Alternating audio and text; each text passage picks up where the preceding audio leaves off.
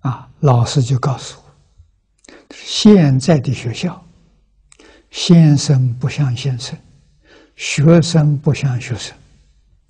你要到学校去听课，你会大失所望。这些话当时我听不懂。学校怎么会是这种现象？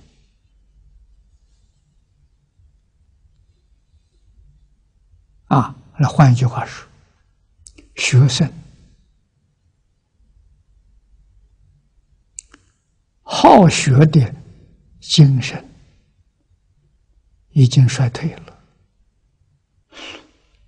小学、中学认真读书，未来要考考学校，啊，小学为了考中学，中学为了考大学，大学就不必考了，啊，念到大学的时候就松懈了，等着拿文凭，啊，真正专心读书的学生不多，这以后我明白了。那么老师不是不教啊，是学生不学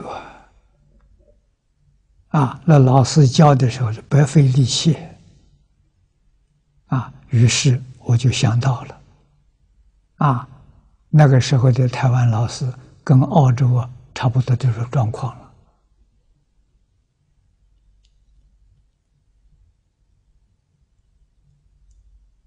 老师为什么还要上课？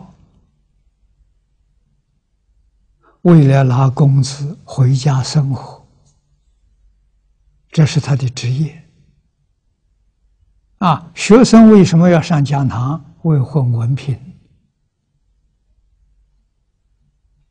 不不专心读书了。啊，所以老师就不真教了。啊，各有所需，个人都满个人的愿，皆大欢喜。啊，教育沦落到这种情形，六十三年以前的事情，啊，现在各了一家子了，校风学风之衰，我们能够体会得到。啊，那么当时。我听老师这些话，这是一完全拒绝了，所以感到很悲伤。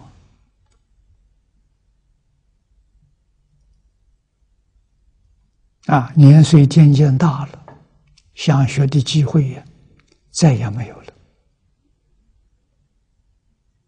啊，承蒙方先生的爱护，我告诉我，你真的想学。每一个星期天，到我家里来，